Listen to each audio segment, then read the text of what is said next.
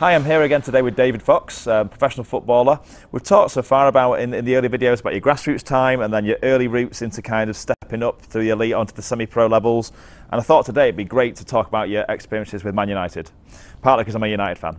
and I'm miserable about that at the moment. Uh, so yeah, cheer me up about the happy days. Yeah. So yeah, your your experiences. So let, let's let's start off with the actual facts it. Then, when did you get signed, and when did you first start to train with United? Well, um, initially I was when I was down in, in Exeter, the chief scout had a holiday home down in Devon.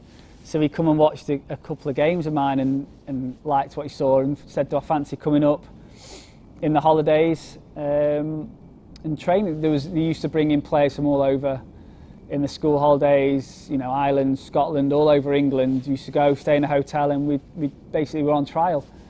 Um, so I remember doing that probably about five or six times, I'd say, in certain holidays over over 18 month spell. Each time they'd like what they saw, I'd come back and then I'd play a few games, maybe at a weekend. Um, and then ultimately, with about sort of December before I left school, uh, they offered me a, a YT contract, a youth team contract, um, for three years. Uh, so I had the decision to make. Do I go there or do I go to Arsenal? Um, so I chose Man United. Um, I, I, obviously, the club club was massive. They were they just won the treble. So uh, yeah, and I enjoyed my time out there. I enjoyed the lads uh, that was up there. So I thought it, it, was for me. I wanted to be back up north. I didn't know if London was for me. So uh, went went up there, and as I left school, I signed first of July as a 16 year old. How did that feel? It felt unbelievable. Yeah, it was brilliant. Um, it was daunting. They just moved to the new training complex, so I, I never got to experience the old yeah, the school, cliff. the cliff. Yeah. Um, which there was obviously hundreds and hundreds of stories of things that was going on there. I, we were different. We, I went to, to the, to, they'd been in the new in Carrington for three or four months. So yeah, it was it was eye opening. It was it was um, unbelievable. It was it was very tough. It was daunting, but oh yeah, it was it was I was at the best club in the world, and, and I was ready to to start trying to trying to make it there.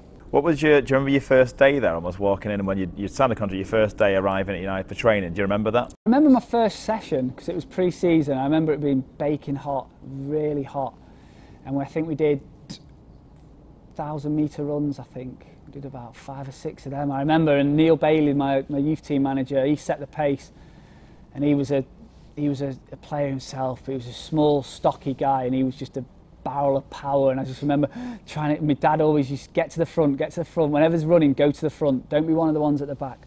Always be at the front. And so I was determined to try and get to the front. And I just remember running around the field and, and rest and back. And it was pre-season, so it was tough. You got your sort of into you, you got a little package from Umbro. You got some boots and some trainers and and got a tracksuit. Just every YT got them all over the country.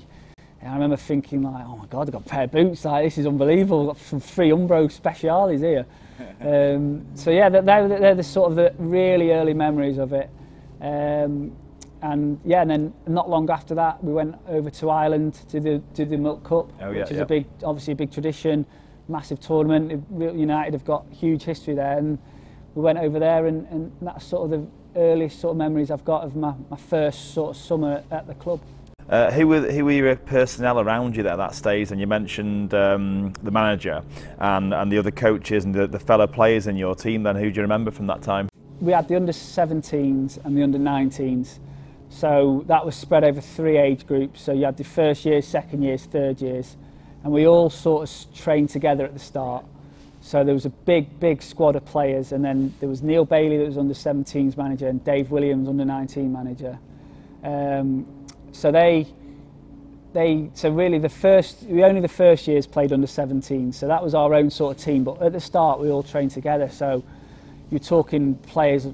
Danny Webber was one of the older players. Michael Rose had a, a great career, and then the, the year below, Danny Nardiello, Danny Pugh, Alan Tate. You know, I'm missing I'm missing loads of players.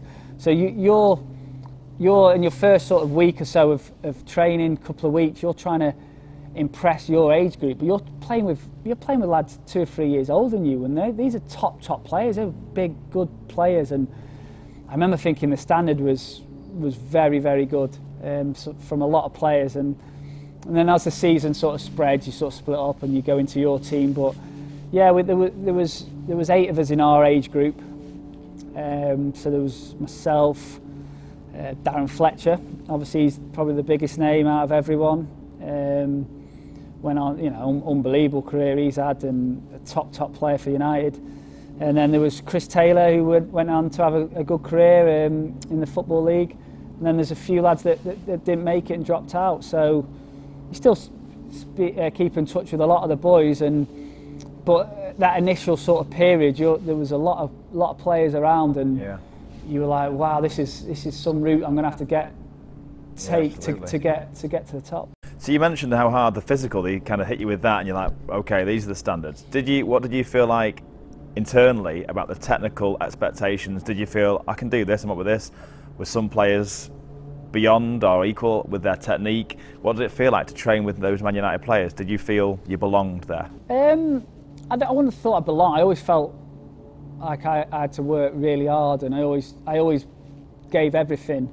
Um, but I think a lot of the a lot of the principles, you know, I, a lot of the reasons that I, I stayed in the game for so long was the things I picked up from a really early age at Man United. The, the, the initial year or two I had there laid the foundations for to have a career. Oh, absolutely, the, the the technical side of things, the constant technical aspects of the game was every day. Ball technique, Neil Bailey's favourite, ball technique every day, receiving the ball.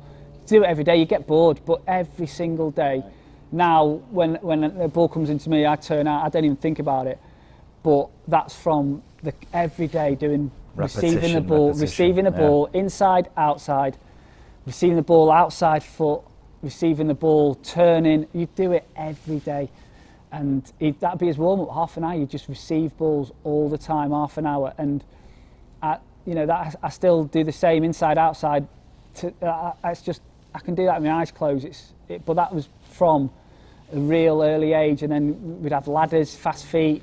He, he was big on that. These are all things that come into the game a bit later, but I I feel like the, the initial sort of my time under Neil and Dave them, them three years I spent as, as a YT and a professional, they, they laid the foundations absolutely for, for me. I was, I was known as a, a good technical player. That was what my strengths were, and I think that was from right the, those certainly days. those those early sessions and those key things they were putting into you from from an early age.